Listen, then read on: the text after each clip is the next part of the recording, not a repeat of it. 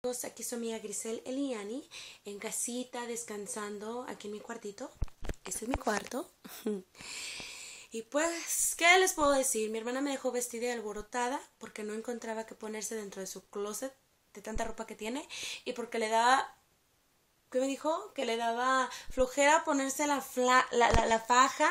Eh, entonces ya no salimos. Entonces mañana la voy a poner aquí enfrente de la cámara para disculparse con todos ustedes.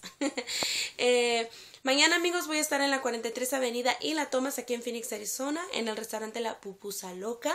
Eh, voy a estar ahí regalando varios boletos y los demás van a estar a, la, a la venta con 5 dólares de donación. Y va a estar ahí mi amiga Leticia Limón, que de hecho ya me invitó a este evento, se lo quiero agradecer.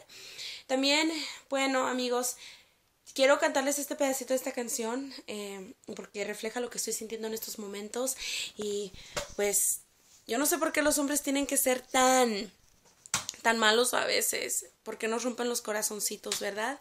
Pero pues así es el amor. yo creo que van de ambas partes, ¿verdad? Porque las mujeres también a veces hacemos eso.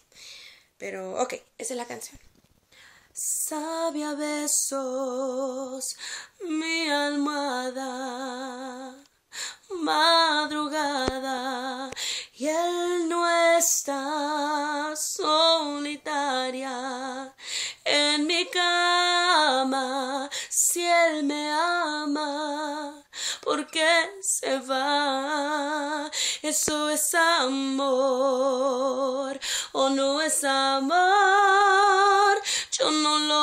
Sé, yo no lo sé. No sé si es amor, pero lo parece. Y sabe que yo estoy loca por él. No sé si es amor, pero crece y crece. Vive dentro de mí y se ve flor de piel.